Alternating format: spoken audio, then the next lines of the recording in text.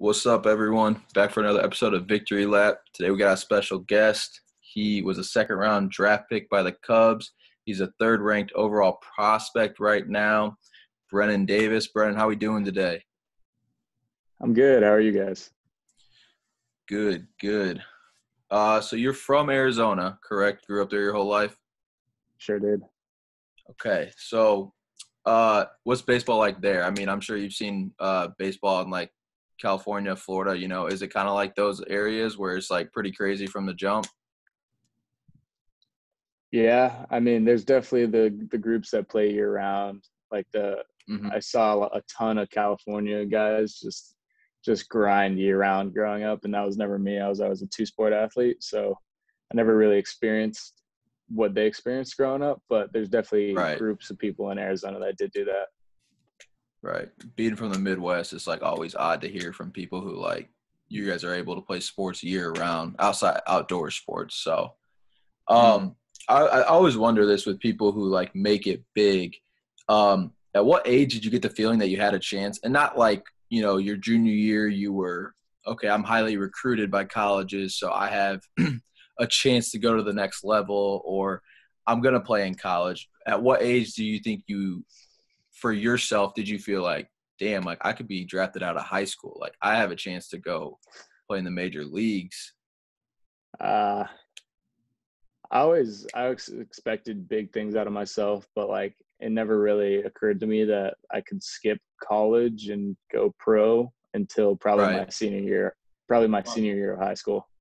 really? Kind of kind of a late bloomer, so I didn't get recruited college wise until my junior summer and that was just like a few small schools and my big schools didn't come till my senior fall and that's when I made my decision to go to University of Miami, baby.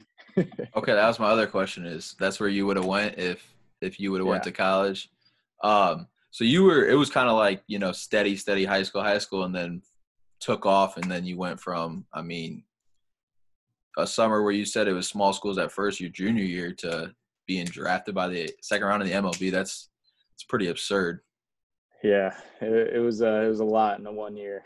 That's for sure. I had a big decision. I wasn't at that point. I wasn't sure if I was going to continue to play basketball my senior year or if I was going to focus on baseball. I ended up quitting basketball and focusing on baseball. So it's a makes sense it's a hard decision. Probably, it, I would say it turned out well though. Yeah, I think I made the right decision.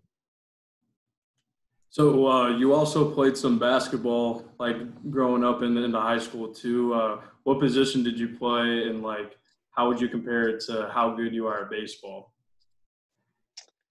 Um, I definitely pla- pla- practiced basketball a lot more. I was always in the gym. I was always working. I just felt like my skill set hasn't translated as well as it translated in baseball with the amount of time that I put in. So, I mean, it's just crazy to think if I would have spent all this time playing just baseball, how how good I'd be right now. And it just goes to show that I have that much room to improve. Right, and a ton of natural talent if you are splitting between two sports and still get drafted straight out of high school. Yeah, I appreciate it. That's pretty fucking crazy. I'm sitting over here. I can't play a sport, and you're you, took basketball super serious, Then you get drafted in the second round of baseball. Man, that's that's awesome though. I saw some of the players that you played against in Arizona. I mean, you were playing some. Did Did you ever get looks for basketball too, by small did. colleges or? Yeah, it would have been like Ivy League schools like Yale or Cornell, but Mhm. that's just as much as I love education, I wanted to play in front of a little bigger stage. Right, right. Did you uh, did they offer you to play baseball and basketball? Any of those schools? No, it would have just been either basketball or the other schools that are offering me baseball or just baseball. Right. Yeah. Damn, that's pretty crazy. Uh what was the feeling like when you signed that contract? When you heard your name drafted, you're what how old were you when you drafted? 18 or 19? 18. 18. So you're 18 drafted in the second round of the MLB. Like that's got to be surreal like like damn. I mean, that's that's just crazy to think about.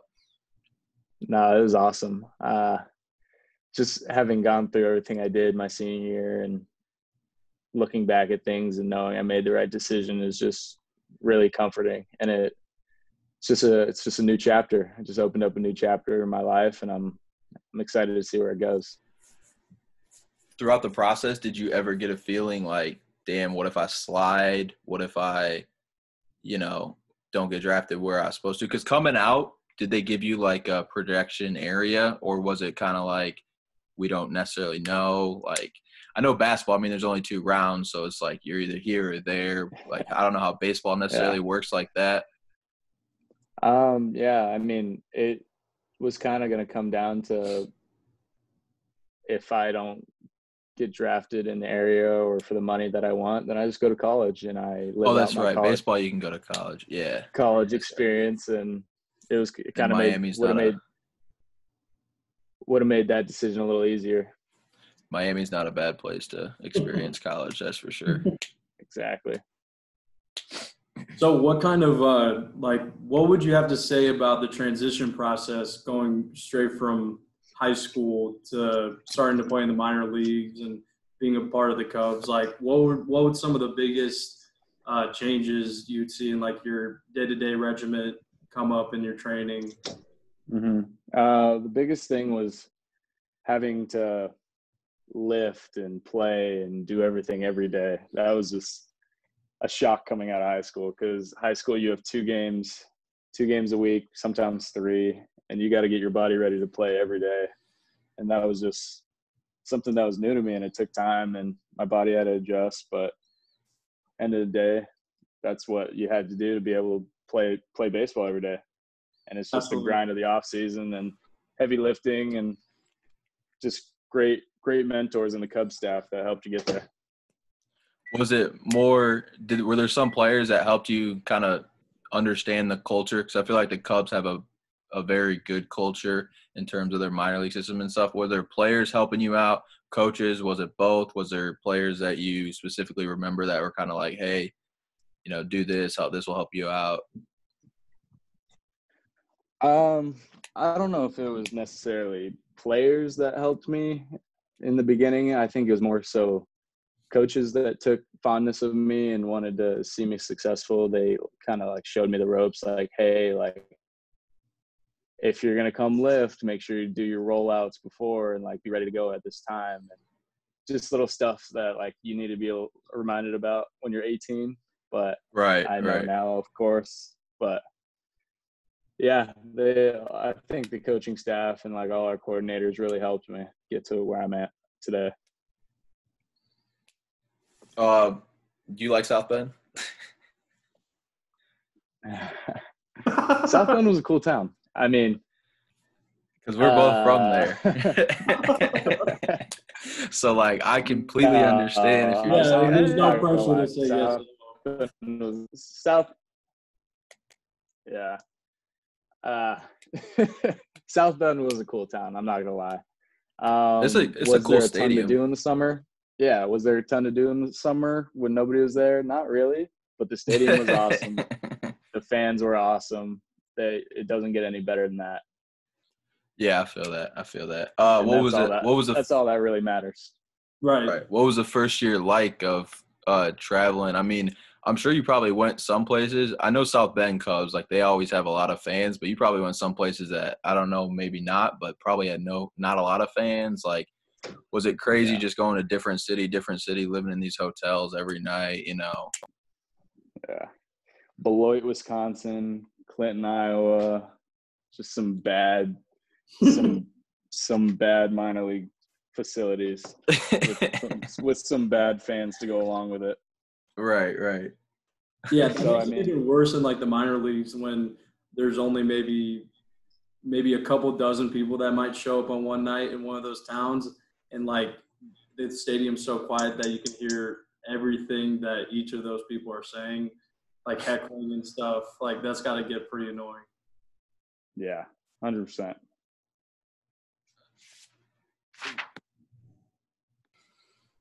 Um, so like I saw through some of like the, your injury reports um, from last year. Your was it your index finger or was it your Yes, it was my index finger. Got absolutely obliterated last summer. Yeah, and you were like on and off the uh, DL with that, right? I sure was. It was terrible. It was such a small small injury that kept me out, so that's why it's Yeah. so frustrating. I was uh I was telling Michael uh before you came on, I was like kind of comparing it to the the Schwarber injury and like how he came back for the 2016 playoffs, and then you kind of did something similar something special with that. Uh, I just thought it was kind of interesting. I'm a big Cubs fan, so like I like making those kind of comparisons. That's cool. Did you guys? I, I haven't heard that one yet, but I appreciate it. how far you guys won it, right? South Bend Cubs. yeah, Sure did. Mid- Midwest League champions, baby. There you go. And then you were uh, also minor league player of the year, correct? I was. What was that feeling like? Um, because you got, I mean, when you get that, you know, the Cubs have a great farm system, so it's like hearing that that had been pretty crazy too. I mean, you're you exceeded, I would assume your your expectations. Obviously, getting injured is never something you want to get, but while you played, you Mhm. really performed well. Yeah, I I mean it was it was awesome to be a part of. I'm just happy I was able to help the team come back and help the team in the playoffs, and I think that's really what put it put it over the edge and showed that I had the grit and determination to get the job done. Right, right. Yeah. I thought it was cool that they also got to uh, present those awards at Wrigley for you guys. Um, did you get to meet like some of the some of like the Chicago Cubs players and some of the management and like what were some of the things you got to experience? Yeah, so I had been to Wrigley a few times to like help them with uh, some draft stuff beforehand and just some little stuff along the way. But to be able to go and see Nico getting ready to play, somebody that I had gotten drafted with the year before, was just so awesome. Mhm. It was Uh, really, it was really something else. That's awesome. So what's uh what's the quarantine been like for you? You've been I saw some videos you've been able to still work out. Uh has it been tough? Has it been easy? I mean, Yeah, I mean it's definitely tough because like I don't know, it's hard practicing every day and not having an adjustment to make because you don't have game ABs or live ABs or anything like that, Right. and right. not being able to be with the guys is really tough. Also, I'm actually roommates with Cole Roederer right now, so Okay. I mean we we push each other, we, we hit together. We're always like helping each other whenever we can, but it's still it's just a tough tough situation. But everybody has to deal with it, and everybody has different ways to get through it. Um, have you heard any updates on anything going on or You know what, man? I wish I have, but I Oh, just wow. haven't. Yeah, I feel that cuz cuz we were talking the other day. I mean, they don't have a minor league, you know, season. Like how does that affect, you know, that's hundreds and hundreds and hundreds of players. Yeah, I mean, there's already been massive cuts in the minor league system because of just not being able to afford the guys. So it's Right. it's a tough situation for everybody. And I, Uh ulti- ultimately, it's just going to cut into our development. So that's the that's the worst part of it. Hundred percent, hundred percent. What was your favorite team growing up? Oh, I would say the D backs, but the D backs sucked when I cared about baseball.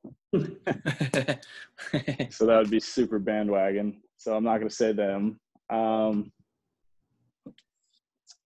I don't know. That's a tough one. I just, I'm not a big team guy. Obviously, the Cubs now, of course, but right. I'm more right. of a, I'm more of a, I'm more of a player guy. So I like rooting for players. so who yeah, are I your favorite saw one of players? those articles that you talked about looking up to uh, Lorenzo Cain a lot and kind of Yeah, off of a lot of what he's doing for the Brewers. I'm a, I'm a fan of Lorenzo Cain. I'm a fan of Dexter Fowler. Obviously, what Trout can do with the bat is Mhm. unbelievable. And I was a I was a fan of Paul Goldschmidt when he was at the Okay, yeah, that's a D-backs. solid one. Yeah. yeah. Yeah, you're too way too young to remember Randy Johnson. Like, I mean, I I, I know about him now, but like when I was Right, young, I right. wasn't like I wasn't like a oh Randy Johnson. right, exactly, exactly. Would you follow? Did you follow the NBA a lot? Because I mean, if you practice that much, were you that into basketball I- more I than you fol- were? I I definitely followed it more than I followed baseball. That's for sure. When I was little, Who was your team for Um, basketball or players? I was a big Steve Nash fan. So really? Oh, that's yeah, I like- Phoenix. I, mean, they were good. yeah, that was when that was that was acceptable back then. Right, So- right. Yeah. Been a Suns fan, kind of on and off the train as they slowly decline. Yeah. I all feel that though. We'll be back. We'll be back. Got some good young guys now, so Exactly. Um, all right, I got a few fan questions. This one of my buddies is like obsessed with the Cubs, so I'm gonna rattle some of it off.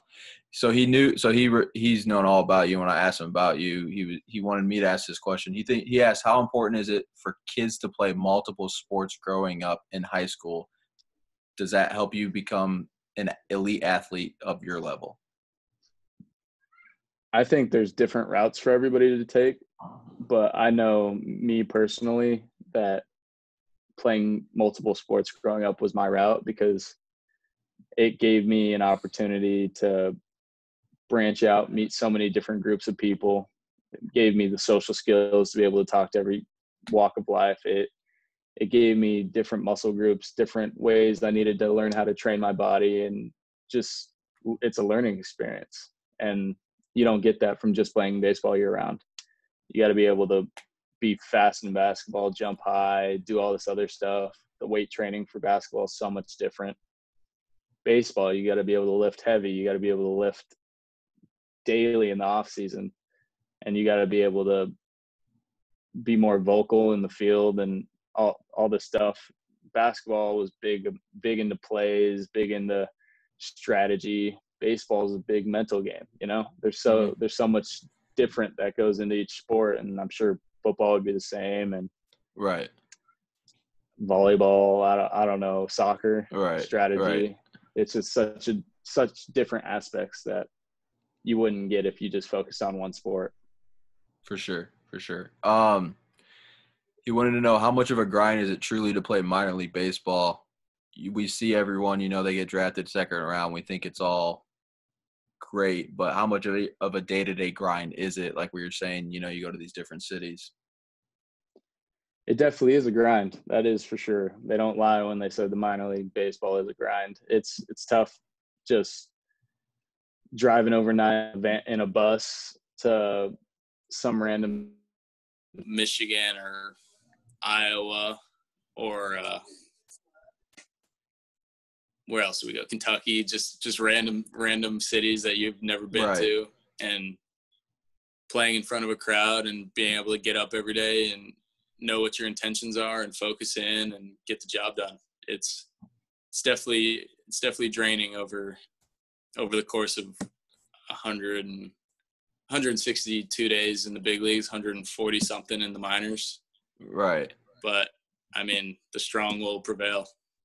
right. Yeah. No, I think that's that's crazy because, you know, you're playing when you're playing in the minors. You know, you got to get up every day, and as you were 18, 19 year old, you know, like like it is your job, but you're still like I'm playing baseball, but it's also like it's tough to grasp like what it takes every day to do that because you know you're used to playing in high school. The last time you played baseball, you were in high school, and you were just kind of Yeah. like, I mean, you're better than everyone in high school for sure. So it's like you don't have to put the same into it.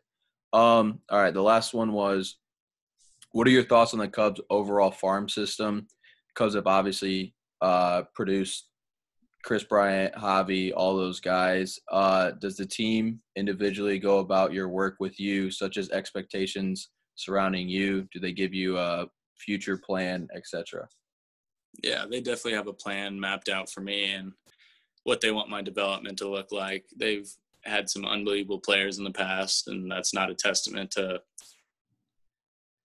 anything like against the Cubs development program, but they've had some Mhm. great players in the past, and Right. we have great players right now, and the Cubs do a great job of putting them in the best situation possible to succeed. And that's what makes them such a good system. That kind of rolled off a, a question my dad actually wanted me to throw in here, but with the universal DH possibly becoming a thing this year and possibly for years to come, and seems like the Cubs like center fielders have kind of been switching in and out. It definitely seems like there's a little bit of opportunity to be had in the outfield out there, and maybe even Jason Heyward is maybe has only has like a couple years of like elite baseball left in him. Like, does that is that something that kind of sticks in your mind when you're going day to day, like looking in the future? do you try to take it more like one step at a time?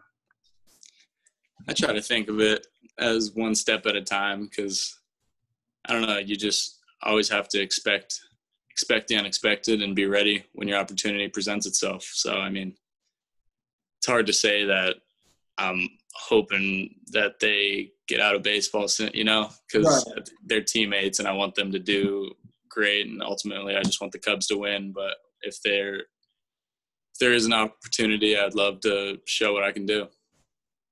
Absolutely, for sure. For sure. Uh, this is. I just thought about this though. Who was the best basketball player you played against? Ooh, best basketball player I've played against.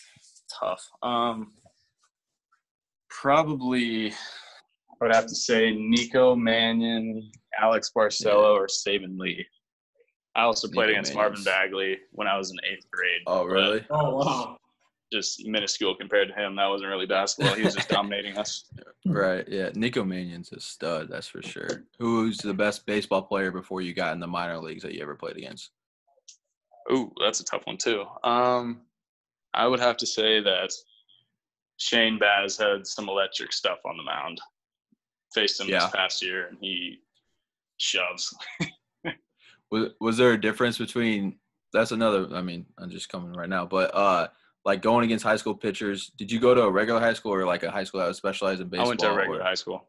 So, I mean, each time, I mean, you could play some dude who's not good at all, who's pitching, and the team's terrible. So, was that different than going to the minors, where it's like every night you're playing who's someone who's fighting for their job, fighting to work their way up, and like they probably have way better stuff on an average yeah. night?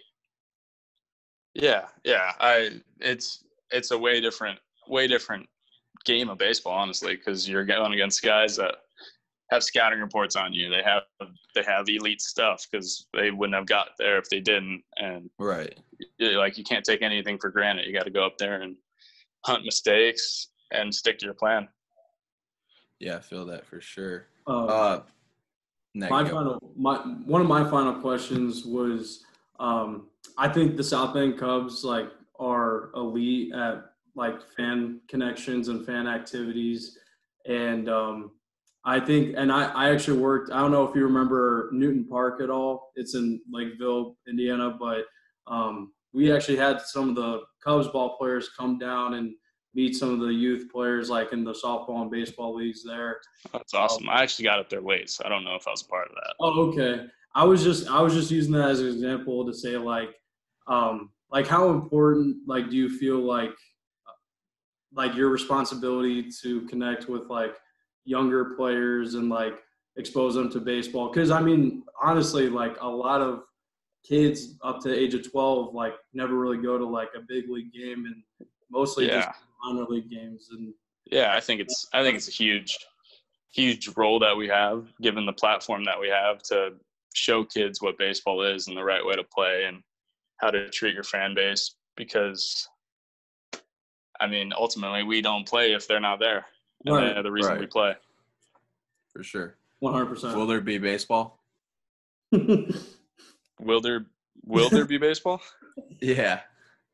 Uh for the big leaguers yeah for the minor leaguers probably not damn that's crazy so i mean that's that's just wild to think about you know because i feel like baseball the minor leagues is like there's no other sport that's like it. Football doesn't even have it. Basketball, they're yeah. starting to develop one, but baseball, I, I, mean, it's I agree, like 100%. I just hope they open up the complex so we can get our work in. Right, right. Yeah, I mean, they that's a, like probably the least they can do if they cut your whole season. Is just be like, look, we can still yeah. get some work in and whatnot.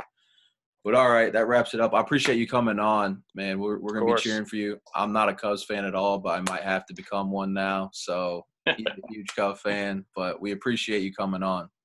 Awesome. Thanks for having me. Of course.